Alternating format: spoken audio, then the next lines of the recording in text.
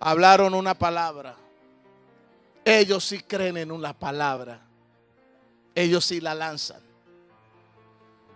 Y tú con esa bibliota que tienes ahí, amén, gloria a Dios, aleluya. Hay que traerle la gordita otra vez y ponérsela. Entretenido con la televisión, entretenido. Y en cambio los brujos sí tiran la palabra. Y activan los ángeles, activan los demonios, los masiquín, activan los sátiros y mueven los mundos de abajo y amar y que te amarran, te amarran. Me lo dices a mí, que me ha tocado desatar gente amarrada y encadenada que nadie podía desatar.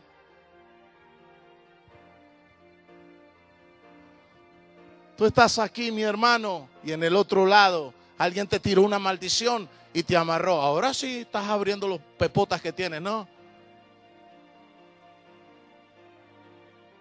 ¿Por qué, ¿Por qué eres desgraciada? ¿Por qué no triunfa en el amor? ¿Por qué todo mundo de lejos gustas y de cerca asustas? ¿Por qué no puedes tener una familia? ¿Por qué no puedes tener un matrimonio feliz? ¿Por qué eres tan desgraciada mujer? Porque en una zona de cautividad y abajo infernal, alguien te amarró, un demonio te amarró tu vida sentimental y, te colocaron un espíritu de fornicación para que por los siglos de los siglos de los siglos tú seas una prostituta. Diga conmigo, zonas de cautividad. ¿Y quién te va a desatar? Nadie. Como dijo mi abuela, nadie. Nadie te puede desatar. Ah, pero cuando vino Yeshua dijo, el Espíritu del Señor está sobre mí. Y me ungió el Señor. ¿Y por qué te ungió? Para que a todos aquellos que están en las cárceles, y no estaba hablando de la modelo, todos los que están en las cárceles, en los mundos de abajo, Arcad, Sillá, Nesillá, G, Gema, abajo, el tártaro, todos los espíritus que están amarrados, salgan de las celdas, aló, y sean libres, aleluya, sean libres. Hoy el Señor te quiere hacer libre.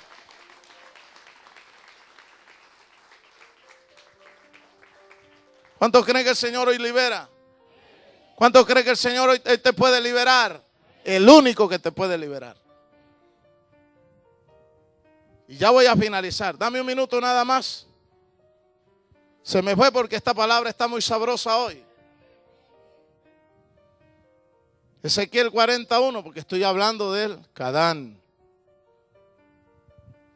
En el año 25 de, nuestra, de nuestro cautivario, el principio del año, a los 10 días del mes, a los 14 años después que la ciudad fue conquistada, en aquel mismo día, vino sobre mí la mano de Yahweh y me llevó allá. ¿Cuántos aplauden su nombre? ¡Ay, santo!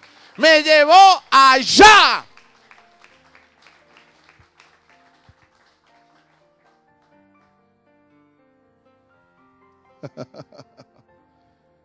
¿Aló?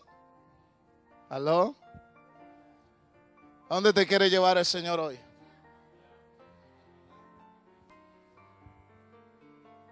Porque estás en problemado. Estás en problemado acá. Pero cuando te lleve allá, vas a ser libre. Vas a ser libre. Hay un mundo espiritual que el Señor te quiere abrir. Hoy el milagro viene de arriba. Hoy ese esposo viene de arriba. Hoy esa, ese sentimiento, esa amargura la van a salir, la van a salar de arriba con aceite de arriba. Ese espíritu quebrantado arriba lo van a sanar, arriba lo van a restaurar, allá. Aleluya, diga conmigo, universos paralelos. ¿Cuántos quieren abrir la puerta del oriente? ¿Cuántos quieren abrir la puerta del Cadán? En visiones de Elohim me llevó a la tierra de Israel. Otro que está viajando por dimensiones. Mira, Tú eres dimensional, tú estás sentado acá y estás pensando en tu problema. ¿Por qué en vez de, estar viajando para abajo mientras yo estoy predicando, por qué no piensas que hoy el Señor te va a sanar? ¿Por qué no piensas que, por qué no subes? ¿Por qué ya no te empiezas a declarar sano? ¿Cuántos ya empiezan a declararse sano? Eh, eh, eh, te digo que no te dejan subir para allá. A ver, ¿cuántos quieren? ¿Cuándo empiezan a declararse sano? A ver, levanta la mano. Declárate sana, mujer. ¿Cuántos de los que están tristes se empiezan a declarar alegres? ¿Cuántos de los que están pobres se empiezan a declarar que en esta noche baja riqueza, que baja prosperidad, que de allá le tiran bendición? En vez de estar pensando en lo de abajo, piensa en lo de allá. Hoy hay bendiciones para cada uno de ustedes porque la puerta del Cadán se abre. Uh. Hermano, si tú no te levantas con esta palabra, ánimas benditas del purgatorio.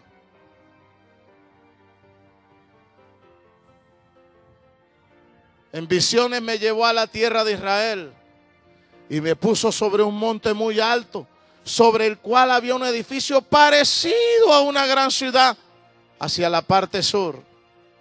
Me llevó allí y aquí un varón cuyo aspecto era como aspecto de bronce y tenía un cordón un cordel de lino en su mano y una caña de, medir, y él estaba a la puerta.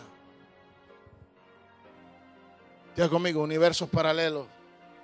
¿Lo llevaron a algo parecido? Sí. ¿Qué necesitas tú? ¿Qué es lo que necesitas que en el otro lado, en el otro universo no esté? Está todo. Por eso el profeta le está diciendo, abre la puerta que da hacia el oriente. Póngase de pie, por favor. Levante su mano. Esta es una noche de milagros.